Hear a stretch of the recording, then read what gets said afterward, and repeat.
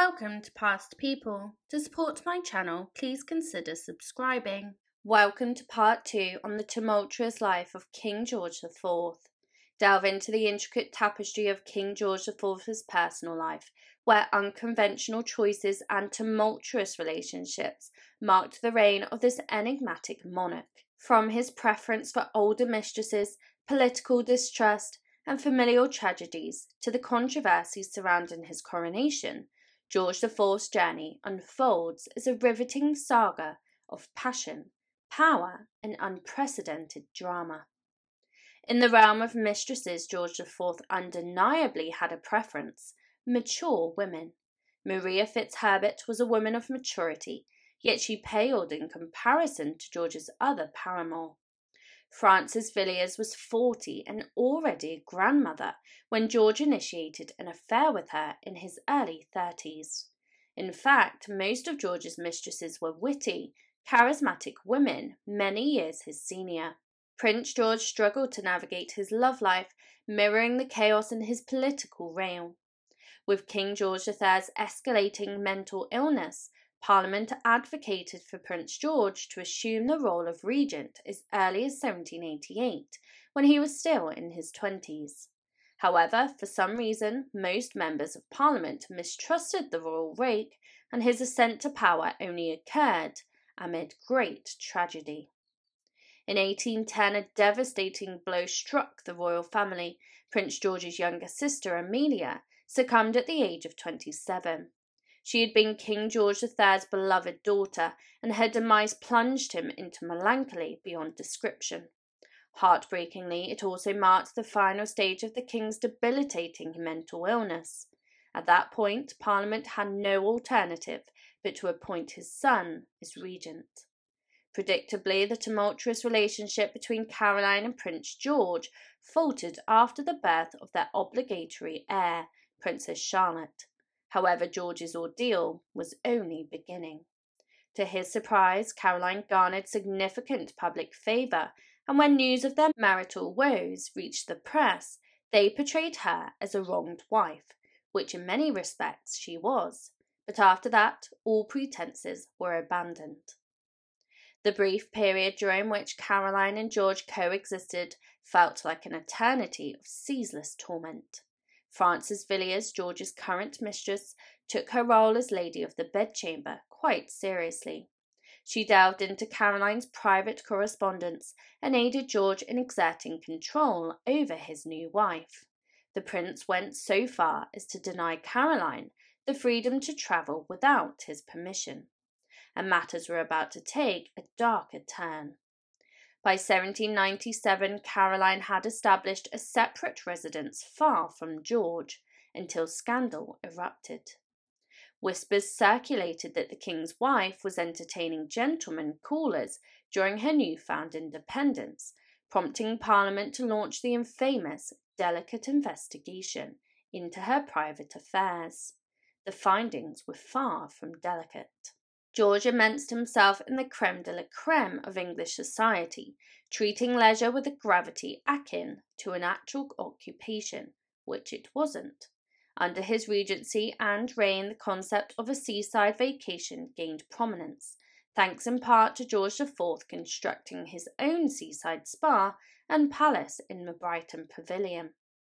Although the delicate investigation failed to conclusively prove anything against Caroline, it unearthed a trove of damning information, including suggestions of a secret love child born during her time apart from George.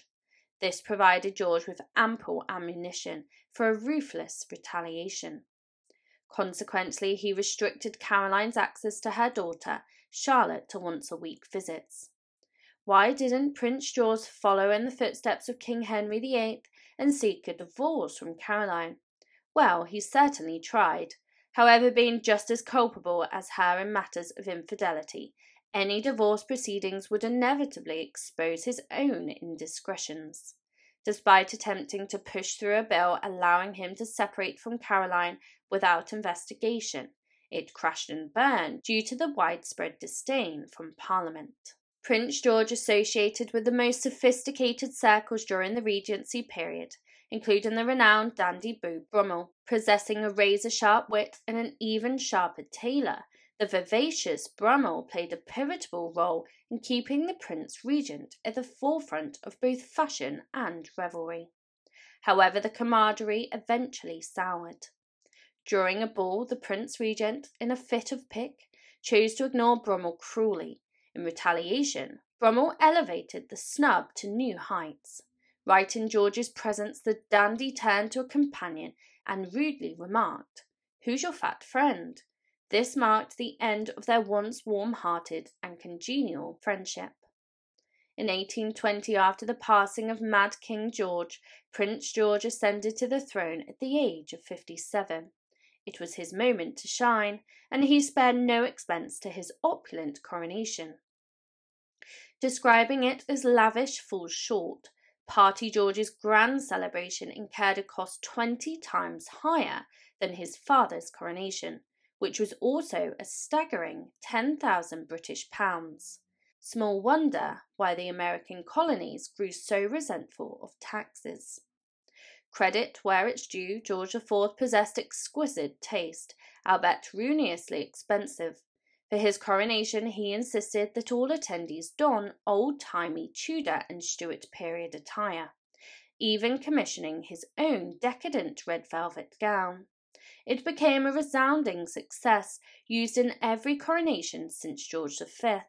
However, his special day was not without its share of high drama. George IV's pettiness knew no bounds, and he adamantly excluded Caroline from the coronation.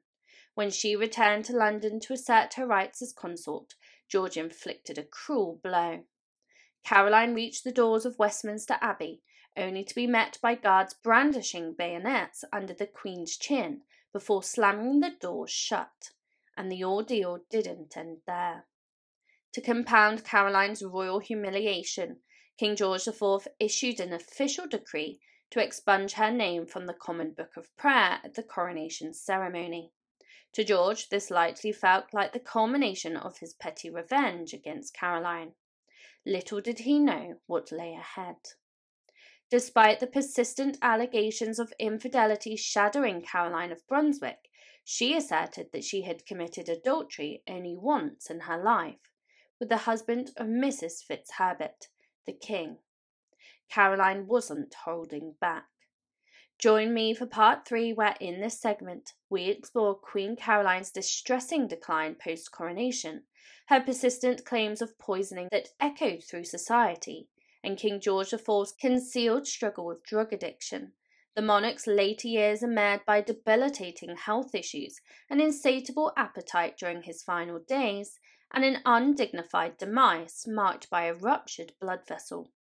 The narrative also touches upon the heartbreaking response to his death, the horrific neglect of Princess Charlotte's passing, and the disturbing legacy of George IV left through his final will. Join us as we navigate through the complexities of his reign, revealing the inherited turmoil that defied his legacy.